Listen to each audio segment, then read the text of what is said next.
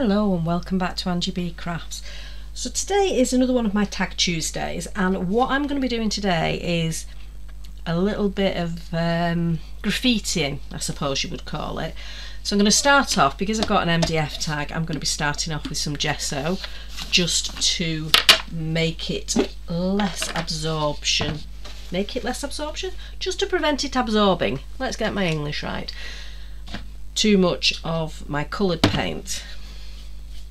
So just slapping on that layer, if you've seen any of my MDF videos before, you'll know that this is most of the time what I do. Sometimes if I want a darker background or um, if I'm doing spray acrylics, I won't always put the base on.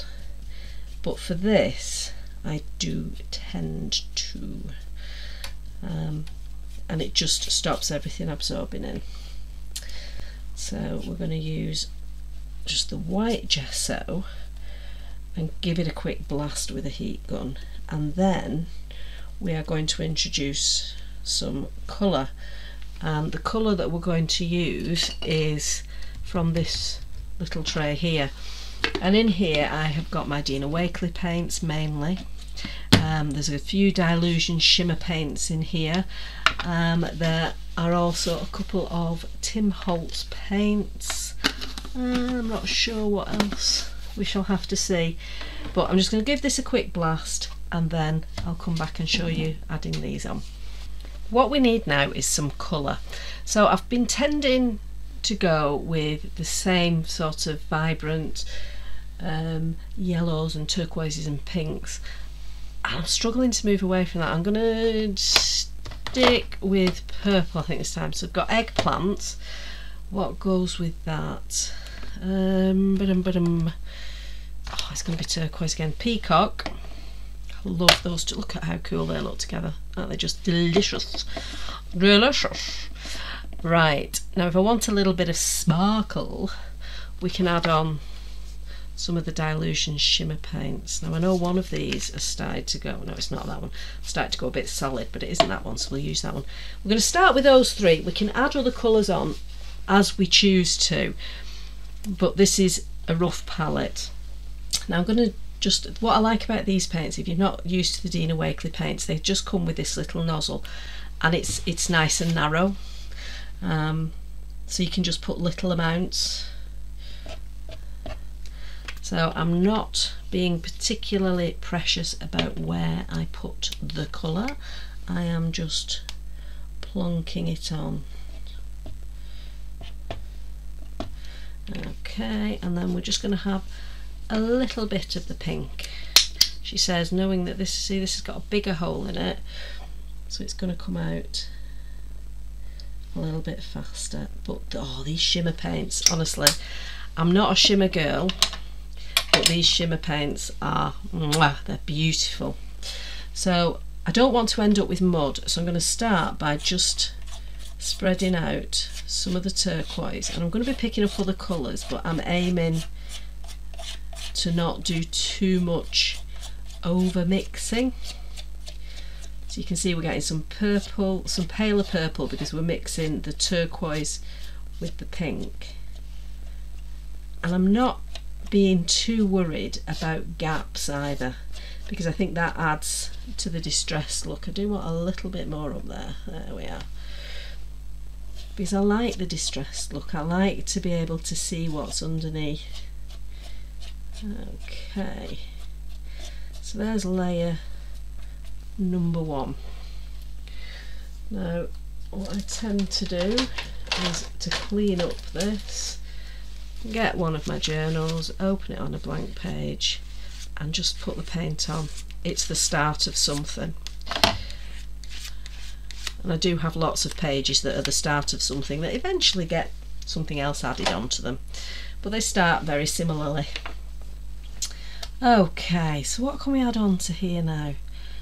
I think a little bit of yellow.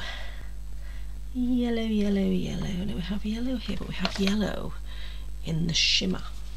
Mm. Shimmery yellow. What I'm going to do now is I'm not going to apply direct. I'm going to pop it. Oh, this one's thickened up. You can see that's more like a worm. I'm going to apply it using this which is a little one inch silicone brush which obviously isn't a brush at all it's really really flexible and it's a nice way of adding in little bits of colour into smaller areas. Now, the reason I'm not panicked by the fact that this yellow is thicker is because it's texture. Pure and simple. It works as a texture and texture is always always good in my view. So I'm just putting these in. I'm kind of just plonking. I'm not really thinking about, oh, that's got to go there, that's got to go there. I'm seeing where it ends up. And you can start to see then what you're left with. And you can you can then add in. So I'm now going, I'm just using the very edge. This is a very, very, I don't know if you can see how fine it is. If I turn it on its side, you might. It actually goes into a very, very fine edge there. So when you start doing this sort of a movement, just tapping, you get some really fine lines. And it all adds to the texture and the look of what you're making. One thing that I find particularly difficult with this is keeping it vertical or horizontal if I'm doing horizontal ones. I've got a real knack of ending up with the lines on a bit of a, a wonk. And I don't know why I do that, I just seem incapable of keeping the lines perpendicular for some reason. But I don't let it worry me. Oh, I'm liking the look of that now. Let's see if we've got any more left here of the yellow. Add a little bit more. Oh, I think we'll have to get a little bit more out. So you're starting to look a little bit arty now.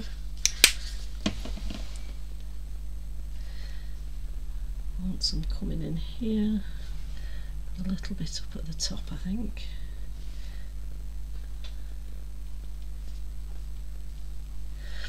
Right, I'm going to clear that off a little bit and just start adding the lines in. So you can see with this using the lines you can spread the length so you can make it as long as you want it to and because I put it straight onto the other wet paint I can also introduce the lines on the other wet paint. And this is just the sort of thing that I, I enjoy doing. I enjoy creating little mini pieces of art if you like.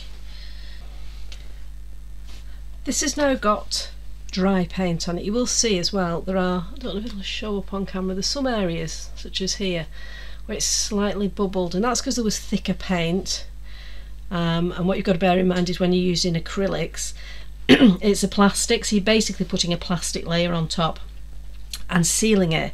So if you've got a thicker area and you heat it intensely, it's going to start to bubble because it's a plastic.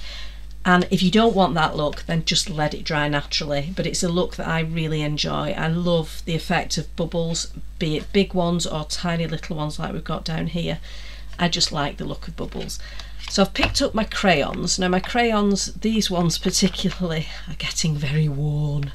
Um, so these are my Vicki Boutin ones and these are my Jane Davenport ones and I'm tending to use a mixture of the two these days these ones you can tell are very much a favourite um, and very dilapidated looking got some teeny tiny little bits right so let's choose a colour. I think white is going to be a really good colour to start introducing. And I'm just going to start sticking a little bit on and then what I tend to do is get my finger and give it a rub. And what you're seeing here is some of the colour is actually coming through. And there's a really, really simple reason for that. I haven't dried it completely. And that is intentional. I'm not coming at this bone dry because I love the way that the paint gets picked up by the crayon. This is one of my current favourite things to do is just adding crayons on.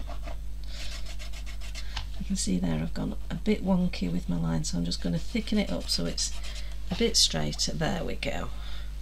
I think we want a little bit of vertical there we'll pop some vertical down there.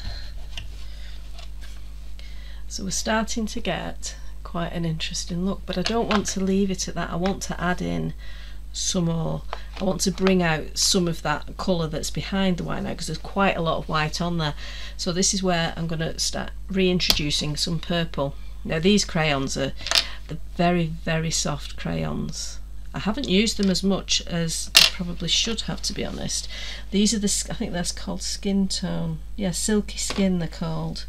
Um, but they, they're just they're very very creamy. They're a very creamy crayon. I do like them. And I'm going to go with the purple on the horizontal only I think and then if I want another colour on the vertical it's just going to add more interest so again graffiti maybe isn't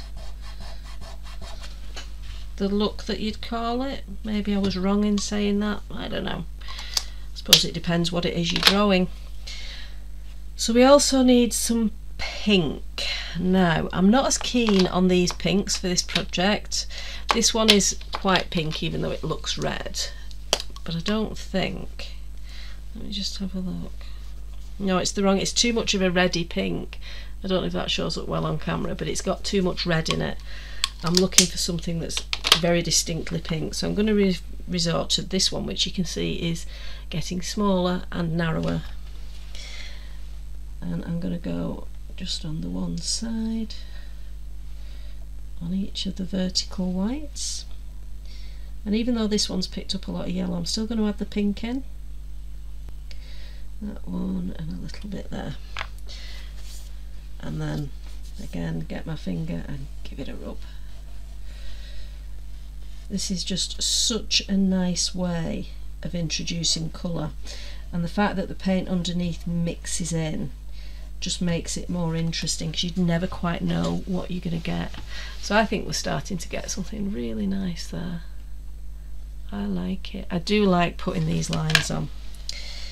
So there's one thing left that I want to do but I am going to first of all get my heat gun. What happens with these when you put your heat gun on it just melts them more into it and you'll see it if I actually keep the heat gun keep the camera on with the heat gun you'll see what happens let me see if I can catch it it kind of liquefies them I don't know if you can see that or not might not be able to catch it but oh there you go you can see a little bit there it's just liquefying the crayon and in my mind, rightly or wrongly, that just makes that crayon stick a little bit more. So this is why I use the heat gun on the crayon. And the other thing with this is they've got a lovely aroma when you heat them up. I don't know what's in it, it smells orangey. I don't know if it's got an orange oil in them or not. It's definitely the Vicki Boutin ones that have the smell. I just really like them. The next medium I'm going to introduce is my Stabilo All pencils. Um, these are the colours I currently own. You can get other colours as well, but these are the ones I've got. And what I like about these is, as the name suggests, they write on anything. Um, and I like to add scribbles onto things. I'm going to go, rather than going for black, I'm purposely not doing the black, I'm going to go for the blue and see if I get the colour I want with the blue. See if I can actually get it to stand out enough. And I'm also going to add some white in okay. I may add some of the other colours but to start with I'm going to do this. And what I'm going to do is this is the the graffiti bit I suppose. It's just doing some asemic writing. Okay so asemic writing is writing that doesn't have a meaning. You're not trying to say something specific with it. You're not writing words, or it can be words, but they're not legible. The idea is that you can't actually read what's being written with asemic writing, um, which is one of the reasons I really enjoy it. Because you can just, you don't have to write anything, or if you want to write something, you can. Quite often just looks like my signature which is completely illegible. So on here now we have got the base layer of white coming through. We then have the first layer of colour which had the pink, the turquoise and the purple. We then have the next layer of colour which was the yellow which came out orangey yellow and mixed with some of the other colours which we then heated. We got the bubbles so we got additional texture which you can see there. I'll turn it that way, but there you go, you can see the additional texture.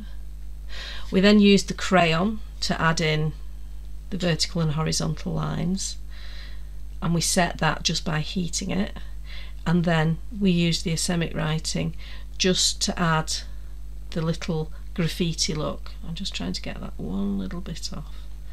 Yeah, there we go.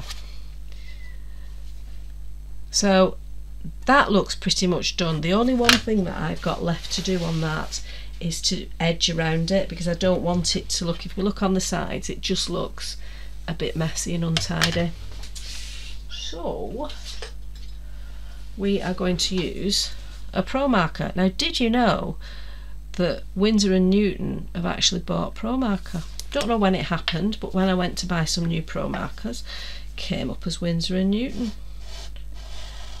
So they're a different brand, so they do look different. If I show you the other one, I don't think I've got my black anymore. I think it's gone. Yeah, this is this is what they used to look like. It used to be Letraset, and now it's Winsor and Newton. They're the same pen. They're just owned by a different company. So if you see them, don't panic if they don't look quite the same as they used to. But know that if it's the older style then it's going to be an older pen as well. So if you see them on eBay or anything like that you can know that it's an older pen if it's got the older style. I think the overall size of the pen and everything's the same. Yeah it's exactly the same pen with the two ends. It's just the label round it